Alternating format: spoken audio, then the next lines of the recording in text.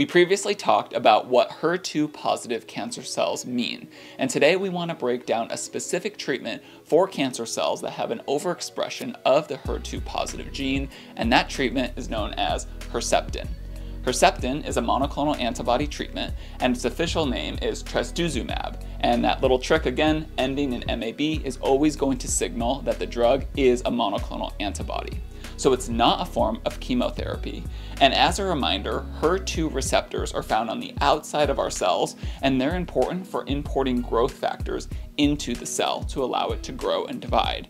And in cancer cells, when they're HER2 positive, it means they're overexpressed that gene, so there's going to be a lot more receptors importing a lot more growth factors, leading to increased growth as well as increased vasculature, meaning they're going to recruit a lot more red blood cells, increase the amount of nutrients, and potentially increase the number of blood vessels that go to the tumor, therefore increasing its size.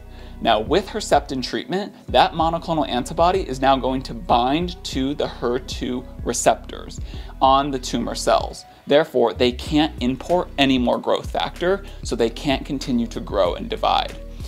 They, some of them will die, but others will also be destroyed by our immune cells, which can now be recruited to the area to clear out some of those transformed cells. So with treatment of Herceptin, we see decreased growth of the tumor as well as decreased blood vessel formation. However, Herceptin is not typically given alone, it's also given in combination with another treatment that is chemotherapy known as paclitaxel to help clear out the remaining cancer cells.